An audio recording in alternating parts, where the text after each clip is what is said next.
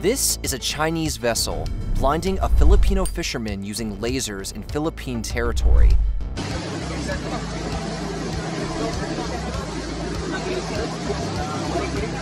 Earlier, a big Chinese ship purposely collided with a Philippine Coast Guard vessel. It's not just Philippines. China has regularly and aggressively sent fighter jets into Taiwan territory and fired missiles over Taiwanese island. A Chinese warship cut across the bow of an American-guided missile destroyer transiting the Taiwan Strait. China has also sent ships and jets in Malaysia and Indonesian waters to harass the oil drilling operation in both countries' territories. This continuing and growing bullying by China has forced many nations to turn to the USA. In an effort to stop the Chinese advance, the US military has come up with a new strategy. A strategy to surround China and be ready to fight in case there's ever a major escalation. This strategy is the US plan to not only help smaller nations, but also stop CCP from exerting its influence over international waters. So in today's video, let's talk about the US's new strategy to trap China and how it will cement the world order. Before jumping in, we have a quick rant about the state of today's news organizations. News companies are just focused on being divisive and enraging. That's because that's what gets the engagement, which gets more eyeballs, which means more money. We're not gonna lie, Regular viewers of the channel know that sometimes we have taken clickbaits a bit too far just to get you guys to watch the video. That's the problem with news that is served by an algorithm. We put tens, if not 100s of hours into making a video, covering important news, but at the end of the day, if we can't convince you to click, all the effort is wasted. This phenomenon is far worse than the news companies, who have special positions just to get clicks on their news. These experts have figured out that the best way to get clicks is to scare the public, focus on negative stories, and blow every event out of proportion. But that's not what news is supposed to be. That's why we launched Global Recaps. Every weekday, an email is sent directly to your inbox. In it, we cover the world's most important news in a short and concise manner, with links to read more if you're interested in any specific news. We also take the most important news story and break it down in simple terms to explain how it affects you and everyone else. These emails take less than 5 minutes to read, and they make you more informed about the world you live in, about the good, the bad, and the neutral. They are meant to keep you informed, not scare you. If you think these emails can be helpful to you, then you can sign up now by scanning the QR code on screen or clicking the link in the description. Now let's get back to the basics.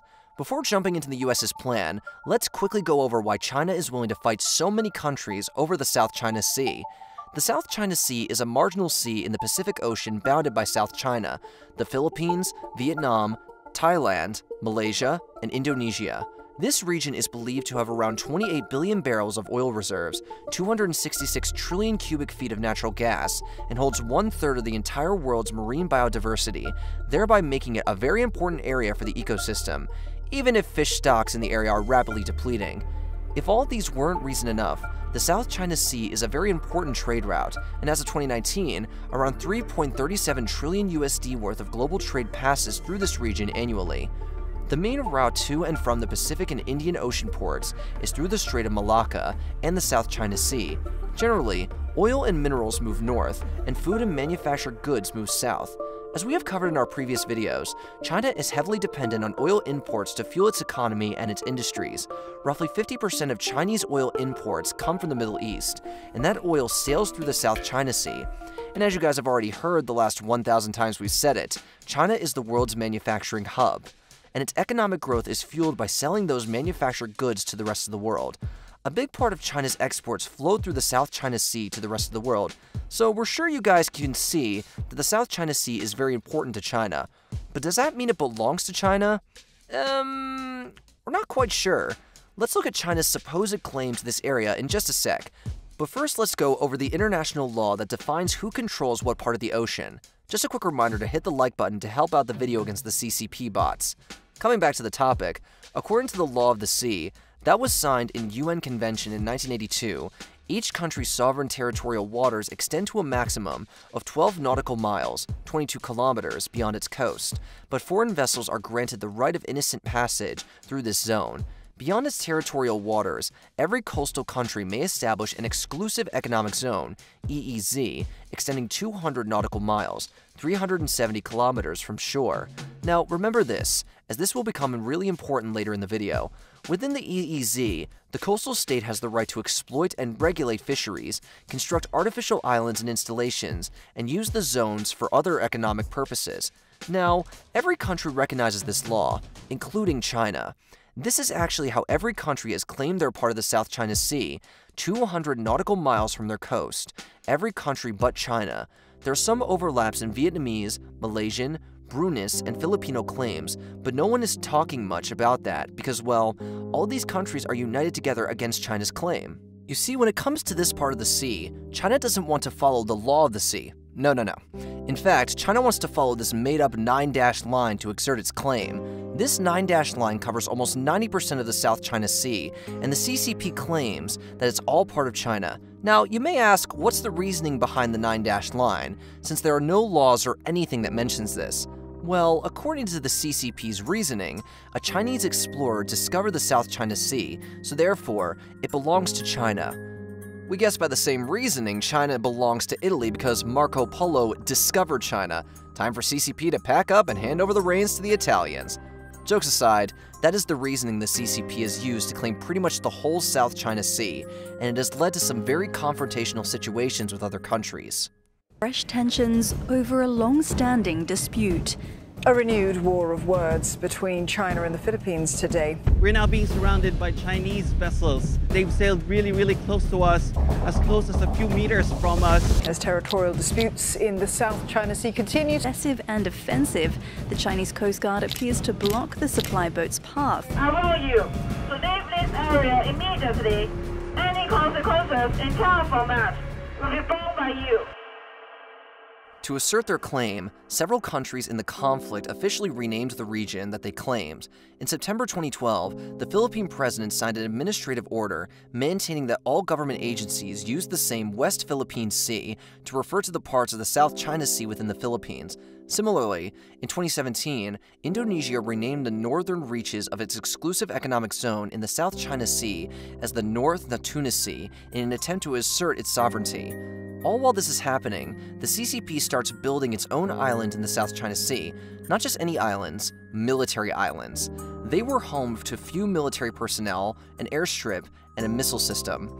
Based on international law, these islands were within the Philippines border, so the Philippines decided to take China to UN court. In 2016, a ruling from The Hague ruled in favor of the Philippines, claiming China had indeed encroached their land, a ruling that the CCP chose to ignore and is not put into effect yet.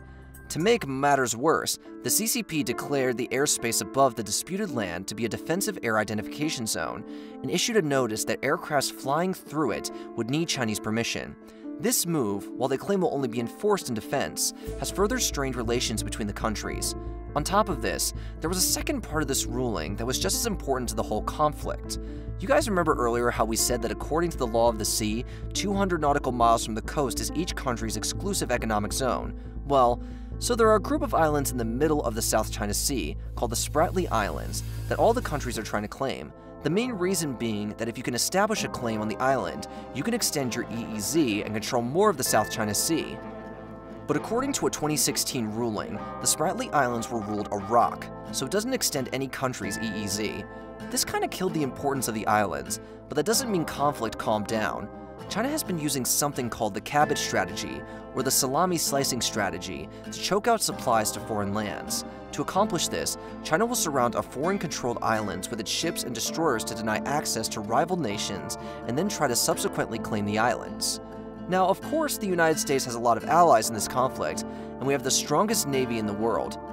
One important part that the US Navy plays is maintaining peace at sea, so world trade can continue without interruption.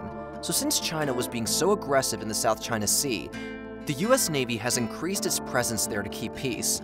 This is where the new US military plan starts. In fact, this was a plan that started soon after the end of World War II.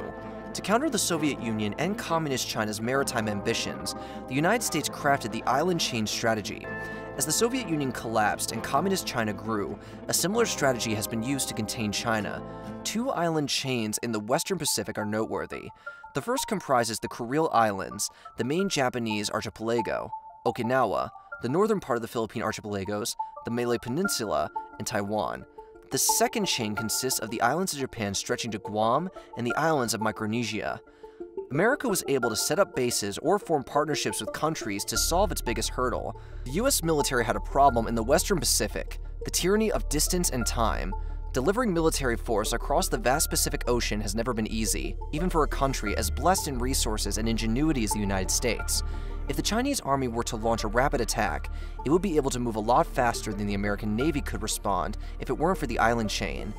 American forces located outside the conflict area would have to penetrate China's anti-access area denial A2AD network to restore the status quo that was there beforehand. A daunting proposition.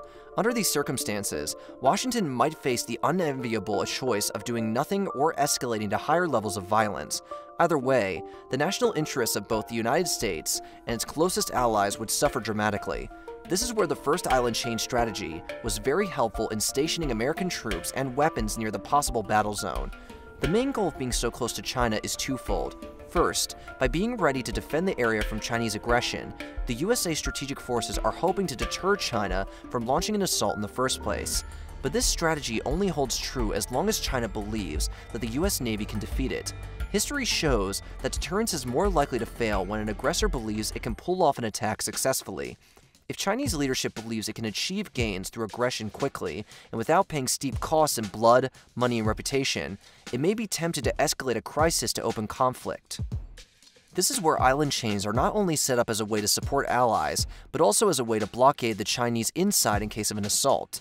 As covered earlier, China is a big importer of oil. In fact, China imports almost double the amount of oil that the USA does, and the majority of that oil flows from the Middle East, which is transported through the Indian Ocean. All this oil passes through what some might consider one of the most important geopolitical choke points, here in the Strait of Malacca. It's projected that 80% of China's oil flows through this strait. This strait is the territorial waters of Indonesia, Malaysia, and Singapore. This strait is a very big weakness for China. In case of any war or political disagreement, this strait could easily be blocked off by enemies like India or the USA. Without access to this route, it's very hard for China to get energy to fuel its economy, let alone a war. In today's world, oil is the lifeblood of the economy and its government. The CCP can only survive for so many days with a mostly halted economy. That's why, as China's economy grew, the CCP became more aware of its shortcomings and invested heavily in improving its military and navy to avoid getting in the situation where another country controlled the sea routes that China depended on. CCP realized that to become the dominant power in Asia, China must first become the preeminent power in the First Island chain.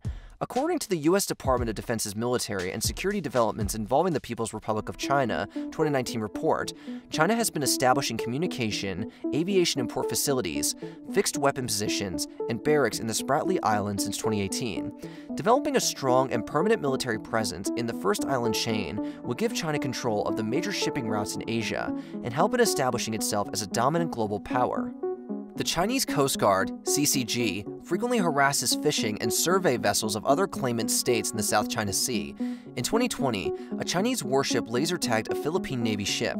A Chinese survey vessel, Haiyang Dizhi 8, illegally entered Malaysia's maritime exclusive economic zone and tailed a Malaysian state owned oil company's contracted ship.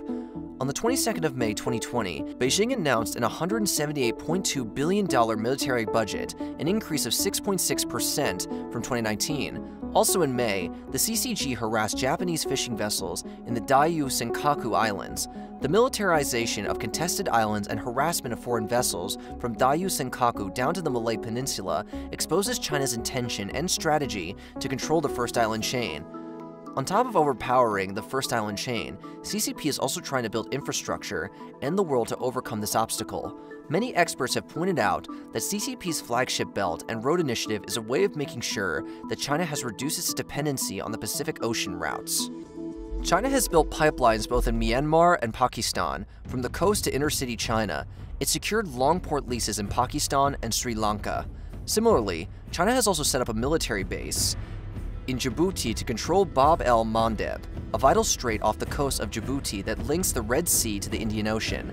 Persian Gulf and Asian exports bound for Western markets must first pass through Bab el Mandeb before reaching the Suez Canal.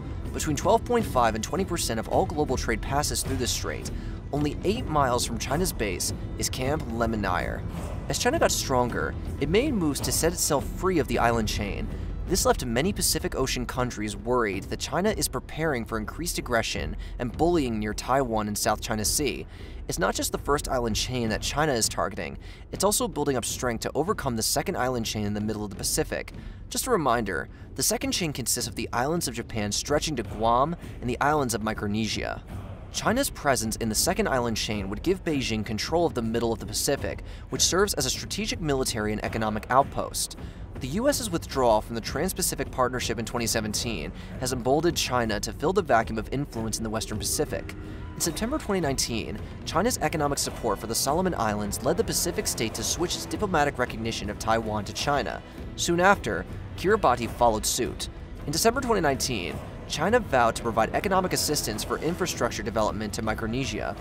Notably, Micronesia could serve as a strategic location for China to counter American military presence in Guam. However, the US has agreements with Micronesia, Palau, and the Marshall Islands, the Compacts of Free Association, which gives the US exclusive access to the land, sea, and air routes of these island states.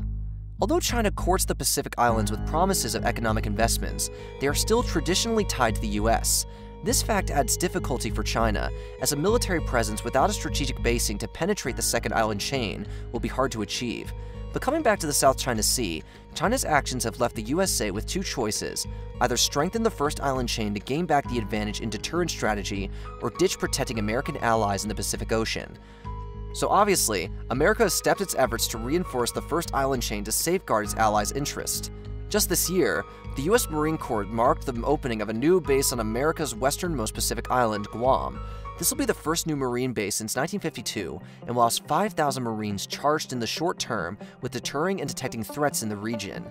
Longer term, the Guam base, almost equidistant from Japan and Taiwan, is also stated to be a hub for Marines on Guam and across the northern Mariana Islands to train for protecting Pacific Islands, including vital sea lanes, in the event of an invasion. If there is a conflict with China, the Marines would be among the first ground forces to respond. Around the same time, the USA reached an agreement with the Philippines that gives the US access to four military camps in the country.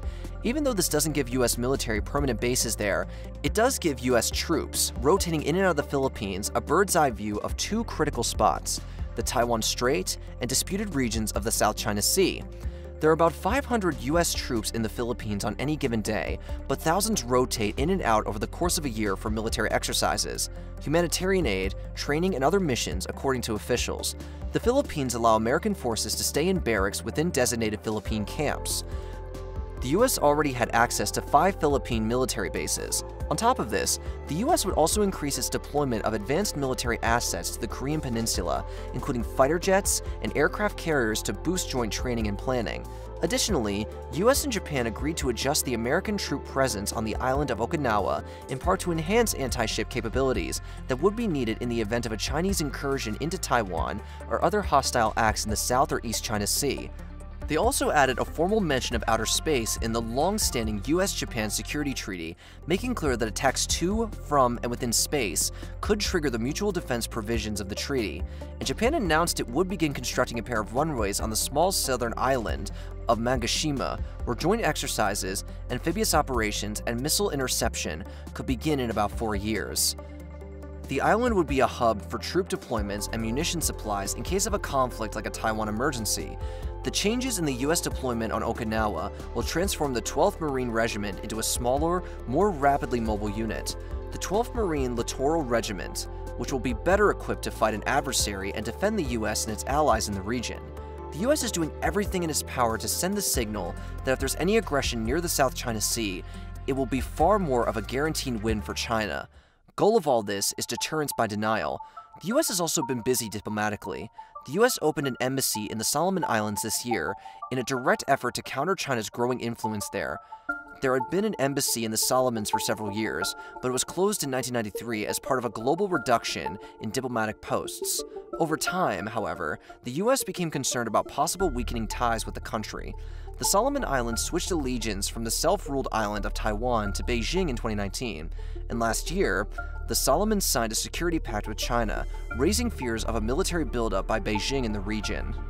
Reopening an embassy there, the US State Department said, was a priority to counter China's growing influence in the region.